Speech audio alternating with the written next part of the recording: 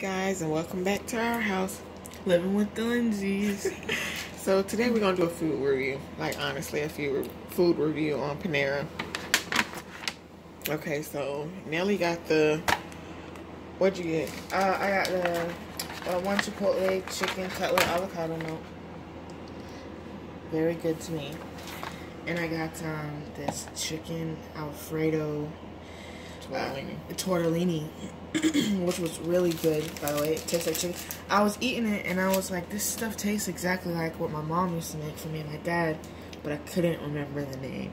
So I tasted it, and, and just to taste it, and it tastes like chicken helper that I used to make when she was little. So that's what that tastes like. Yeah, which is good The sandwich is pretty good. It came with chips and a, in a um, Caesar salad.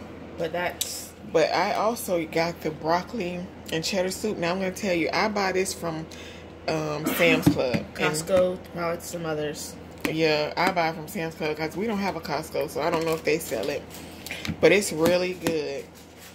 And um, the sandwich was, mm, it was okay. It, I don't know how you like it. I like it.